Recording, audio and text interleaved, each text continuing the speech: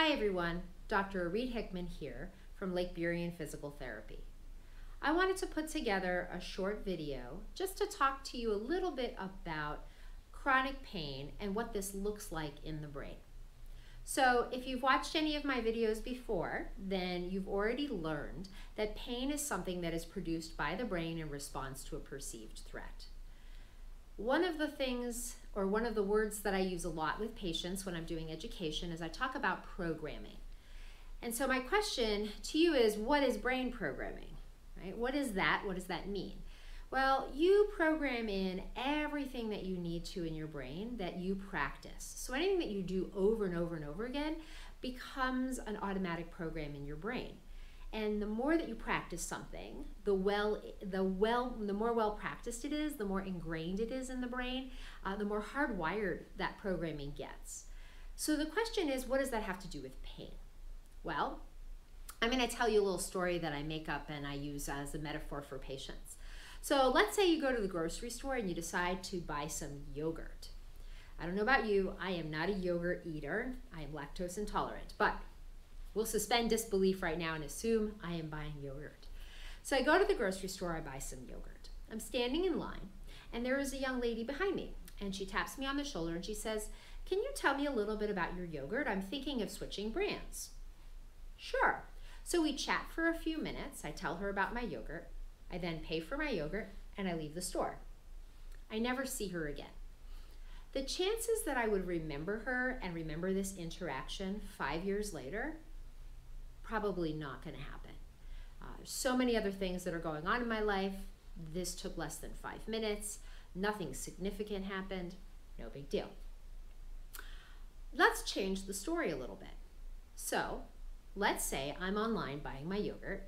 Young lady taps me on the shoulder. She says, Hey, I'm interested in changing yogurt brands. Can you tell me a little bit about your yogurt? And I say, Sure. So we start chit chatting, and then out of nowhere, she pops me in the nose. I have blood gushing everywhere. People come running from all areas of the store.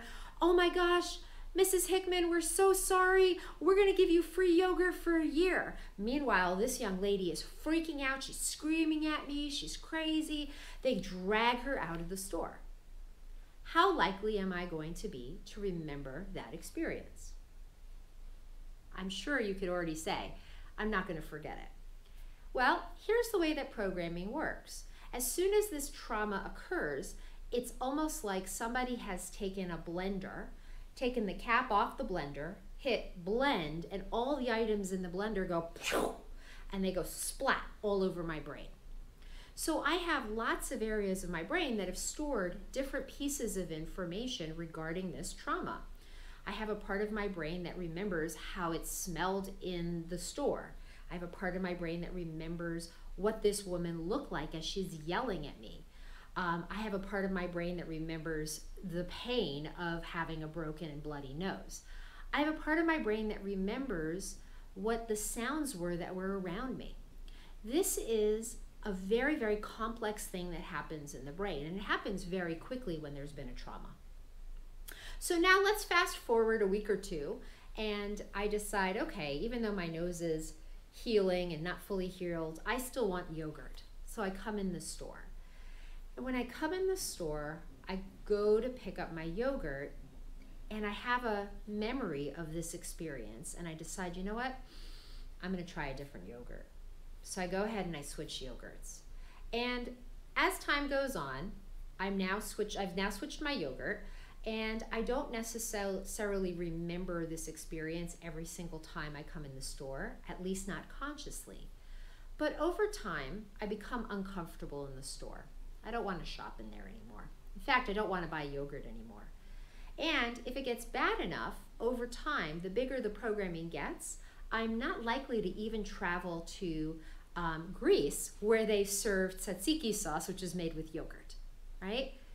This trauma has become bigger and bigger and bigger in my brain.